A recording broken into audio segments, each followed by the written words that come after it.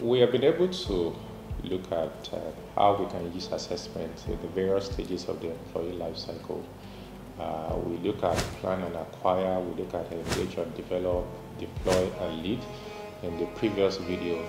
Now in this um, edition, we're looking at retention and evaluation. Now continuity is very important to every business and so also is a need to be able to raise future leaders. Um, the question now is how relevant is assessment in helping to maintain a high retention in an organization? Okay, fine. Now, um, one area we can start thinking of the use of assessment is in the aspect of uh, conducting a stay interview. Okay, now a stay interview helps you to know uh, what are the interests of your employees, especially the key ones, why they still staying in the organization, what is the motivation, what will make them uh, leave your organization if they were to leave at this point in time. So that will really help you to uh, uh, develop your interventions and to know what you need to do uh, to be able to keep them and possibly to other people in their category. Now, other thing you can do also is a value assessment.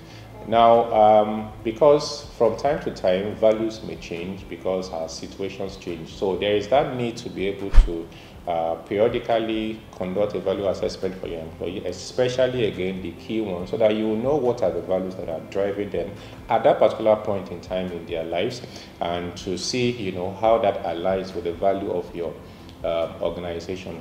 Of course, we can keep talking about retention you want to keep, you know, more of the right people than just, you know, anybody. Okay, so there is that need also to be able to establish that they are doing well on their job. So you can conduct review interviews uh, with them to know how well they are doing on their jobs, where there are gaps, uh, so that you can uh, implement uh, developmental intervention that may be necessary to them at that point in time. Now, if it has now come to the point where they have decided to part ways with your organization, then your exit interview comes very handy. Uh, this will provide information to you as to why they left, what uh, the organization can do better to keep uh, other employees, you know, and um, also that will guide you in keeping the other ones that are left um, behind.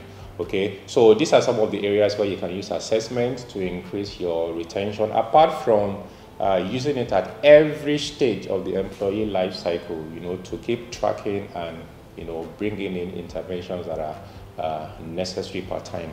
Okay, so in um, this four-part video, we've been able to see how you can use assessment across the employee life cycle.